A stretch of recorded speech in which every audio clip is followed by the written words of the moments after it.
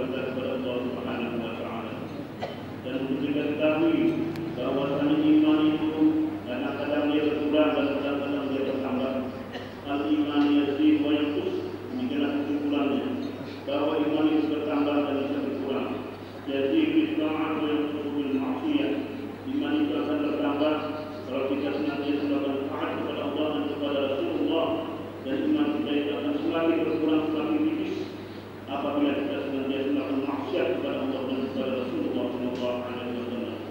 Oleh karena itu, masyarakat muslimin Allah dan nasdaqina apa yang Rasulullah Sallallahu Alaihi Wasallam.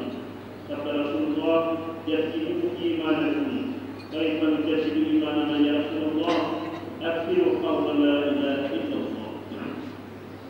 Perbaharulah selalu macam Bagaimana kami memperbarui iman kami ya Rasulullah? Rasulullah menjelaskan akhiru qaul la ilaha illallah.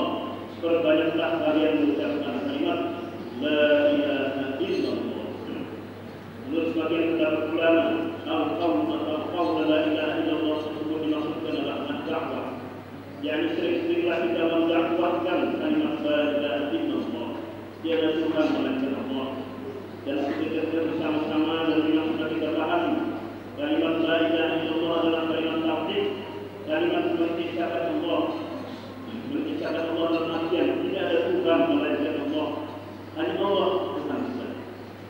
Kalimat la ilaha tidak ada menafikan semua Tuhan, tidak ada Tuhan illallah tidak kecuali dengan Allah Subhanahu wa taala. Kata-kata ilah adalah al-ma'bud. Kemudian ada lagi kata-kata lain daripada daripada kata-kata Tuhan, rububiyah adalah yang mengatur, yang memelihara dan yang menata. Oleh karena itulah setiap kita membaca surah Al-Fatihah kita akan membaca kalimat Alhamdulillah segala puji bagi Allah yang memelihara, yang mengatur, yang menata alam semesta. Kemudian ada kalimat dan surah Al-Fatihah, "Iyyaka na'budu wa iyyaka nasta'in." Hanya kepada Engkau ya Allah kami menyembah, hanya kepada Engkau kami memohon pertolongan. Nah, dan asyhadu muslimin rahimahumullah, ilah tidak artinya al-mahmud yang sembah dalam artian bahwa kita hanya menghambakan diri semata-mata wa Ta'ala menghambakan diri dalam artian bahwa kita ini tidak memiliki apa-apa tidak mempunyai apa-apa tidak tidak mempunyai kekuatan tidak tidak mempunyai apa pun hanya Allah memiliki segala-galanya oleh karena itulah pada saat kita mengucapkan la ilaha illallah tidak ada Tuhan selain Allah itu pernyataan bahwa kita tidak memiliki apa-apa selain semuanya milik Allah Subhanahu wa taala. Oleh karena itu dalam surat Al-Fatihah ditegaskan bahwa kita hanya menambahkan diri kepada Allah bahwa kita